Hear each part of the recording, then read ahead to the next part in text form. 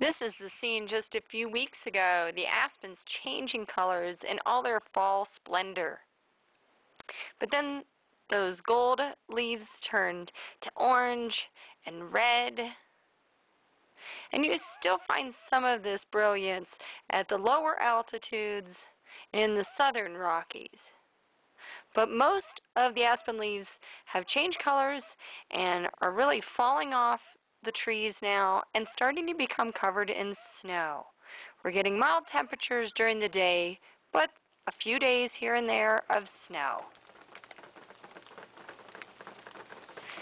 This is a sound of snow melting off of our roof.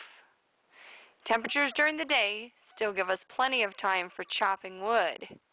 But as this bunny knows as it clings to one of those last big blades of grass, things are changing. It's mud season. We're starting to get some snow.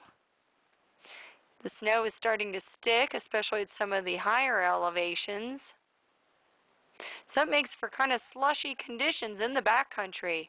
But there's still a bit of hiking, a bit of mountain biking. Just be prepared for a little more mud.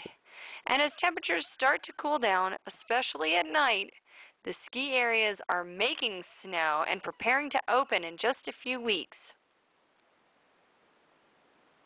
So until then, until ski season is really here, happy Halloween and subscribe to It's Snow Time.